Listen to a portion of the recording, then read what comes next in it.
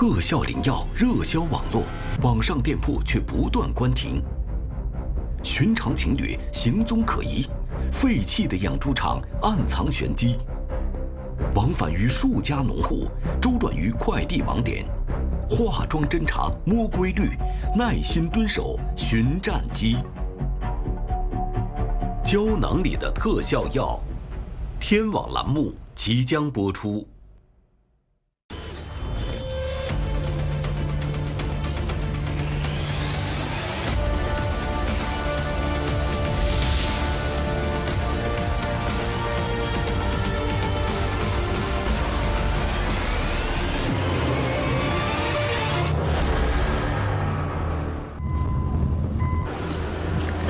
不知道，他没给我地址说嘛？对对。你知道我们今天为什么找你吗？不知道。我希望你配合我们，该怎么就怎么，对不对？那别的我什么都不知道。什么都不知道吗？你干啥的我不知道吗？我四川来的，我这么远都能把你找得到。我什么都不知道，我没有证据我来找你吗？这什么药啊？这就是他说的保健品。这是保健品吗？甲溶壮骨。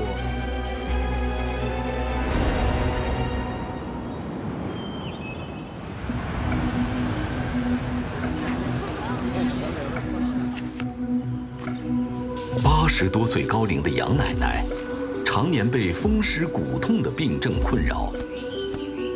为此，家人没少求医问药。二零二二年的一天，杨奶奶的家人在网上发现一家药店，他们出售的乌梢蛇腹蛇胶囊似乎对症，便给杨奶奶买了几盒。当时嘛，就觉得可能对那个还有效果吧。它那上面不是也写对吧？什么风湿、类风湿啊、颈椎病啊、肩周炎呐、关节炎那些吃了应该有好处。我说吃的了吗？不是，好像我又到那个店来嘛。我说我来到那里来买点药吃看看啊。杨奶奶本以为是用药时间短导致疗效不明显。便带着药盒到自家附近的药店买药，但药店的工作人员却发现了异常。他第一个的话就是这个产品上的什么地道野生药材啊，这个东西的话就是非常非常少。还有一个的话就是他没有这个国药准字，他们这种的话一般都是在网上买的，看这个药，呃，吹的比较神奇，可以就是说一个药治百病的那种。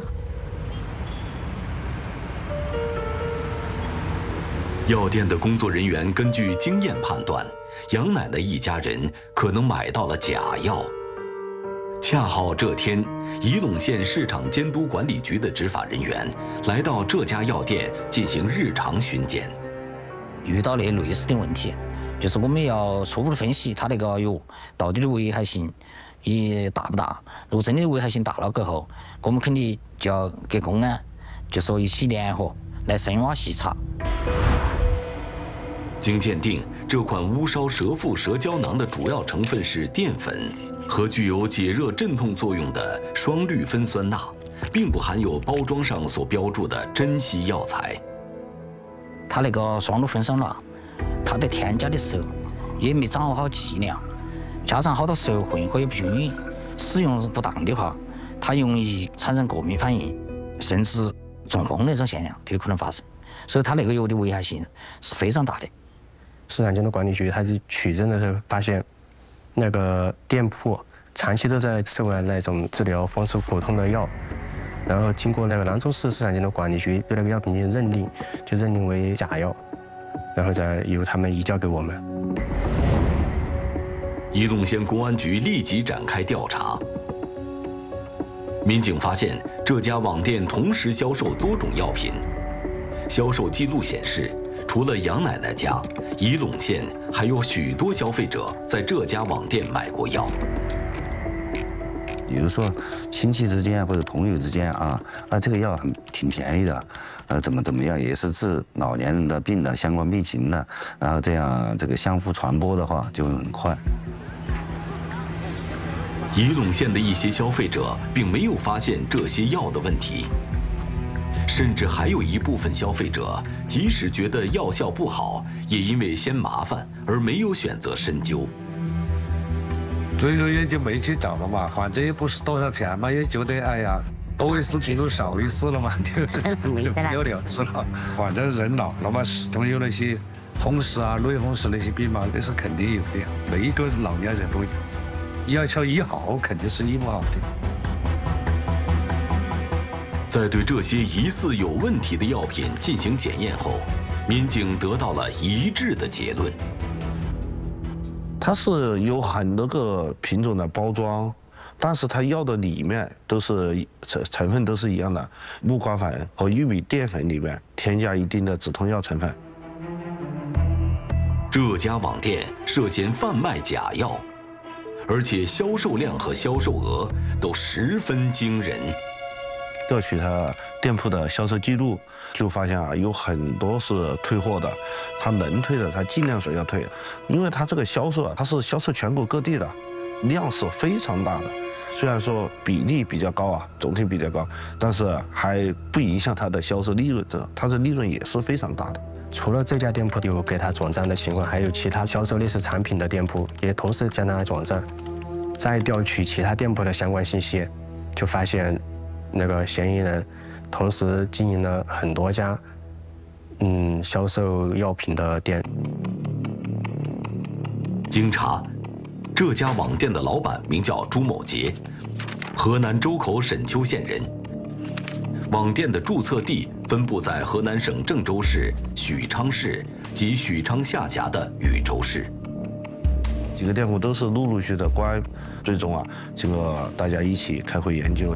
这可能就是说是一个人，他他用多个马甲这种形式来进行开店销售假药的。嫌疑人那个店铺关闭有两种情况，一是实际上他们有巡查机制，一两个月、两三个月对销售药品的店铺进行一个巡查。这个店铺如果没有那个销售药品的相关资质，他就会把那个店铺给关闭。第二就是嫌疑人他自己，就是也是一方面是为了逃避那个法律的制裁，然后他一个店铺经营一段时间。然后他就自己就把它关闭了。从我们调取的相关数据发现，他实际上一共关闭的店铺和正在经营的店铺加起来有二十几家，还在经营的大概有十余家左右。虽然明确了朱某杰名下关联的网店，但是假药从何而来？他在这个链条中又扮演了什么角色？有很多疑问。身份是锁定了，但是我们还不能确定，就是说。到底他是销售还是生产，这些都是他在组织搞。那么还有他有有没有同伙，这些我们当时还不明了这个情况。把货是从禹州过来的，我们对当地进行检索，就发现禹州有很多那种制药厂，有可能他有其他的成员在协助他生产一些假药。如果要确认的话，只有我们到现场。对他进行一个跟踪或者摸排，才能确认他是否在真正的在生产假药。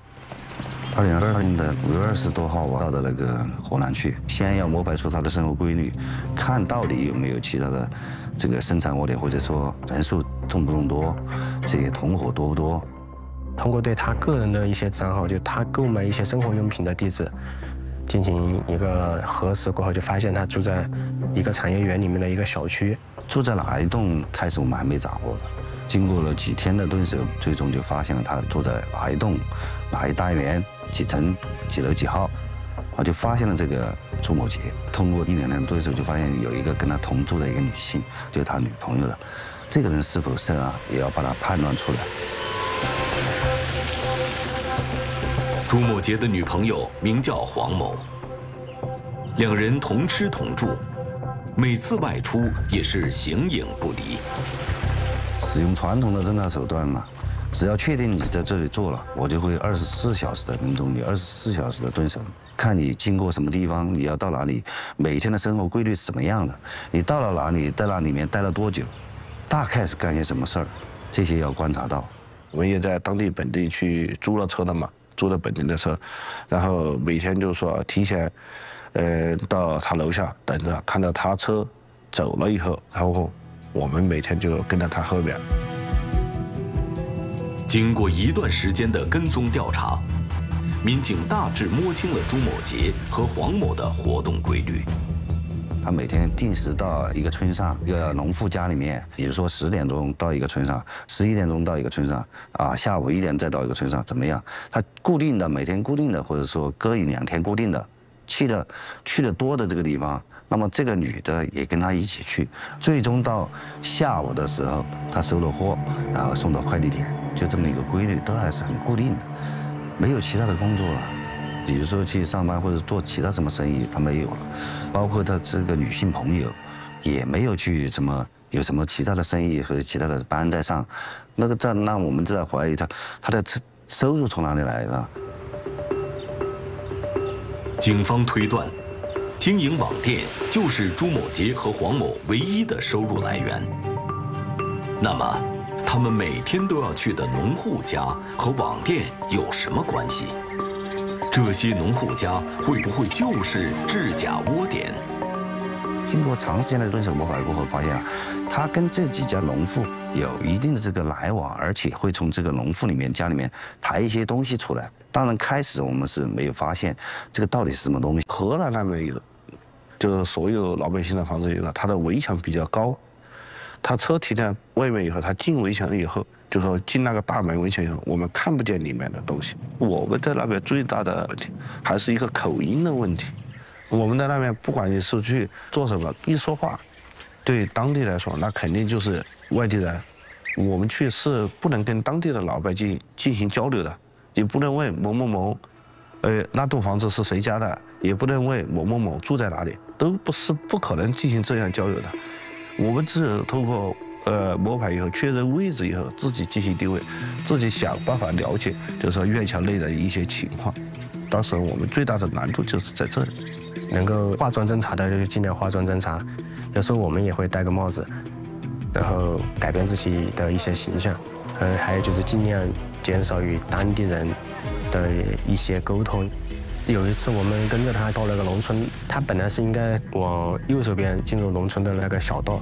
然后当时他就直接停在那个路口了，我们当时只能紧急的把车靠边停下来。当时我们完全不知道他为什么要把车停在那里，是我们被跟踪被发现了，或者是反侦踪。这些都猜想过。当时在侦查的过程中，我们是很迷茫的，因为我们要去揣测嫌疑人的每一个行为，他的每一个动作的。根据我们后来的分析，有可能他是在打电话或者等人之类的。当时我们就下车，装成附近的老百姓，往其他那个工厂里面走了，然后才才就是能够避免被他发现异常吧。除了有规律的出入几个农户家外。朱某杰还经常去一个养猪场，这个养猪场位置隐蔽，而且已经废弃。外面有狗，所以我们不好靠近，靠近了就就这个叫声就太大了。嗯，但最后是经过一天晚上，他还在那里，车还停在那里在等着拉货，好像。然后就我们就一直在旁边蹲守着，藏在这个这个农农地里面。然后他出来，我们看见他抱的有这个药品，包装好的。虽然远处我们看不见，只看见是纸箱。当天，这些纸箱被朱某杰转运到禹州市一个门市房中。往那里面他一个人堆放的时候，我们悄悄往那边过路，因为那里是街上嘛，大街上，他不会怀疑，然后就发现他包的就是这些药品。他有些是打开的，用那个塑料袋夹着的，有些是纸箱的这种，我们就发现这里是他存放药品的一个仓库。在谨慎的跟踪和缜密的研判后，民警一共发现了三处疑似生产假药的窝点和一个用于存放成品假药的仓库。与此同时，民警还发现朱某杰网购了大量包装用品。我们不是调查了他的资金吗？他有时候也在网上其他店去买一些这些东西，就发现有这个药瓶啊、这个胶囊啊这些东西。别塑料瓶子，本身别人不是卖的，这就是个药品的包装的塑料瓶子，他买回来再经过一些贴标签啊或者怎么样。就在民警侦查期间，朱某杰的假药出货一刻未停。他是要陆陆续续去拿货的，就是说，呃，几个生产点啊，他生产好以后，装箱以后，他每天是用他那个车，然后要运到一个快递点，他要呃这个讲他的那个发货成本，跟这个快递员商量好，这个这个我发的多，长时间在你这里发怎么样？你要给我便宜，就把货丢给这个快递员，放在他那里。当然，快递员他不明白这也是是假药这些东西，他肯定不知道，那么就帮他发这样，你就微信给他转钱就行了。各方面都了解清楚，也大致知道了，呃，自己就是说他销售的假药来源的去处，就是说几个生产点，每天走哪进出，他的仓库、他的销售点、他的居住点。二零二二年六月一日，警方决定对朱某杰实施抓捕。一个窝点在这个村，一个窝点在那个村，那么我们。就要分散警力了。为了不让他抓他的时候，不让其他生产点暴露，那么我们就决定了在他的家的小区楼下抓他。当时我们抓捕的当天，他是刚从那个窝点，就是制制药的窝点往回走，期间就到了另一个镇，把他车上的假药放到了快递点，然后再从快递点回他家。在他的女朋友抓捕。一定要注意安全，第一时间控制他的动作，收取他的手机、通讯工具。哦，必须把人控制住。明白？一会儿下去给那边的后面的几个民警交代一下。要得，是的。他去了生产窝点，表示今天的这个呃工作，今天是正常的，没什么事儿，没出什么事儿。就从几个生产窝点去了过后，他回来的时候，我们在他家楼下把他和他女朋友一起抓获的。手机拿出来。在你家里去一趟哈，嗯，在你家里面配合我们一下，好，把事情做清楚哈。在他家中也搜查出了呃很多呃还未销售的一些样品药，还搜出了好几部手机，还有网上销售的一些呃网站登录信息这些，也在现场发现了的。做啥工作的？我做客服。做客服的，卖什么呀？卖保保健品，除了保健品，只只卖保。他也承认了这个事儿，也帮他这个男朋友在网上做客服啊，或者一些服务网店上的一些东西。他以为我们没有掌握他的生产窝点，他就说他只是在这个网上进购的药品来卖的，他也不知道怎么怎么样这是假药，怎么怎么样的这样一些辩解。这是谁的吗？这个是别人给别人要的样样品啊，对吧？对，跟别人要的。是你的，这个走，是你的吧？反正是我的，是我的，但是没做出来。我们在家里面搜查到的一些药品啊，它当然不全，但是其中就有一一些包装啊，这个外包装没有药品，有外包装，外包装就是我们这边受害者购买的药品的那种包装，所以我们更加确定就是就是他们，这个没错。现在哪里生产的？现在都不干了。你不说嘛？就这个，你是不说嘛？我说，我说，在哪里生产的？前面不远。叫什么名字？小地名？啊，小地名，哪个村？要不可以提醒一下？他发现我们都掌握了他的所有的生产窝点啊，这些销售情况啊，所以他也对他的这个犯罪行为、这个犯罪事实供认不讳。嗯，现在他们你们平时都是什么时候加工的？什么时候加工？对，一天早上、晚上还是还是？中午，不是他，嗯，找的下面人是什么？就是他有货了就装一点，没货了就不装。你你安排他吗？你说你需要货了，人家就装，啊，对吧？原材料是谁送过去啊？那边有几个人嘛？几个人在装？就一家一个。一家一个人啊？三四个人。三四个人。三四个人是吧？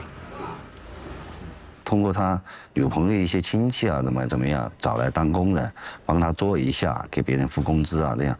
包括后面他找的这个生产窝点的工作人员，有一些啊是通过他的关系，他的老家嘛，通过他的老家的一些亲戚找的这个生产窝点的。你在这干什么？就是找他们，就是干点别的。这干干啥？装个盒子去。呃，盒子里面是装什么？药。药。呃，什么药？都是一些胶囊性药是吧？就是你呃，他们这边的原材料是谁拉过来的？你拉过来的是吧？这个农夫的房间很多啊，很多，然后打开房门过后，一间房子里面全是药品，呃，另一间房子里面全是那个胶囊壳，各种颜色的很多，包括这个纸盒外包装，还有说明书，这些都是备了很多的，存放在里面的。说明书大概有多少？说明书就这些。这个大概多少？这个不知道。他不会找那种正规的印刷厂，他都是这款药卖的比较好，我就把那个图片下载下来，发给那个专门图印那些店，人家帮他制作，制作相应的那些包装盒。这一沓里面没有查过，如果让我看的话，应该是有多少？五百。五百吗？嗯，他这个一个是一个拆开的。这个没有查过，他拉回来就往这一放，就不多说什么，就说你今天做这个就可以了。在这个第三个生产窝点的时候进去的时候，就我们都相当震惊了。它里面是个猪场啊，那个生产窝点我印象非常深刻。这个猪场是谁的？嗯，你的是吧？就是现在因为我们办案的需要啊，现在在你们当地无量派出所，呃，警官还有你的见证下，呃，现在因为没有钥匙，啊对这个锁由你自己亲自来把撬开，我们进行一个检查，听明白没有？好。进去过后，所有的猪圈全是堆的这个药瓶啊，这个这个所有的生产的原材料都在里面，包括药的成分这些东西，一些地瓜粉啊或者什么什么样的东西都在里面。里头是不是都是原材料？对，那个红色袋子里面装啥？也是木瓜粉，也都是木瓜粉啊。对，木瓜粉。这个养猪场实际上是用来制作药丸的。但是不会每天都会制作药丸，因为它一次生产就可能生产几万枚、十几万枚，那个东西做的很快。生产好的胶囊丸再分别运输到她闺蜜和她弟妹家里面去进行一个组装。一袋有一袋有多少？几万粒，几万粒嘛？十万粒还是九万粒、八万粒嘛？八万粒，八万粒左右。嗯。现场查获的就有更多种的药品了。也大概有二十二种多，然后带回来过后，扣押回来过后，也要分别的每一个种类都送去做了专业的鉴定的，鉴定结果都是确定为假药的。现在我们开始让你对你之从荷兰你的仓库里面搜出来的这些产品进行一个辨认，你清楚吗？啊，清楚。呃，这是我们的鉴定人哈，这一号到二十二号我们全部编了号的，这二十二个产品是什么东西？是药，什么药？这个药是谁生产的呀？我生产的。你生产的。呃，接下来我们将对从 K 一开始到二二十二号进行逐一的辨认，你清楚吗？清楚。那么你在生产这些药的时候，哦，加了什么东西进去？加的都是木瓜粉、淀粉，少量的就是双鹿。双双鹿，你双鹿全称是什么东西？双鹿粉酸钠。双鹿粉酸钠，对，粉末。它在里面添加那个双露粉酸钠都是，不是每次都添。因为他，他没有相关的经验，他是觉得哎，今天那个顾客说那个效果不好，我就加一点，就是他也没有固定的量，就是完全就凭自己的心情，凭自己的感觉。实际上，所有涉案人员都没有相关的医疗或者是药品的知识。怎么样去介绍这些药品的功能呢？朱文杰就教我一句话，就是呃，治疗各种呃，就是颈肩腰腿疼啊，呃，各种疼痛。嗯，别的没有，别的没有了吗？嗯，没有了。它是每一种药品是不同的说法，还是呢？还是所有的药品都是一样的说法？都是一样的说法，都是治疗颈肩腰腿疼，各种疼痛。也就是说，这一到二十二号产品，就是说这些药，就是它生产的药品，在销售的时候，你说的是同样的话。对。是同样的介绍的功能是吧？对，就是一句话。就这一句话是吧？哦，有没有说其他的功能？没有。没有是吧？没有。你知不知道药品的成分？不知道，你不知道啊。嗯，我不知道。呃，如果说客服那那些买药的人要问你的话，你如果有其他的疑问，你怎么去回答？没有，没有问。嗯，问了这种就直接下单了。直接下单了，没有。在这起制售假药案成功侦破后，民警马上开展街头宣传，指导消费者如何分辨药品真伪。您平时买药一般在呃什么地方买？呃，一般去医院，医院、社区都是去药店嘛。从药房，那您买到药之后，会不会第一时间去查看它的这个真伪呢？啊，那倒没有，我觉得一般买到的应该都差不多都会是真的吧。哦，一般没有太关注，这还不大太清楚。哦，也就是会看一下日期有没有过期。那您知道，就是如果说要分辨真药假药的话，有什么途径吗？途径的话，只能是看后边的说明和一些别的了。那那个二维码扫一下，看看那个凭证。那您知道什么是 OTC 吗？OTC，这属于认证的啊。肯定是国家认认证的什么那一个标准吧。其实这个 OTC 啊，是在保证用药安全的情况下，不需要医生开写处方即可以使用的药。如果您使用的是不带 OTC 标志的药物，一定要咨询专业医生的意见，以保证咱们的用药安全。药品安全关乎每个人的健康和生命，在公安机关严厉打击药品犯罪的同时，群众也应增强药品安全意识，掌握基本的药品安全知识，守护自身和家人的健康。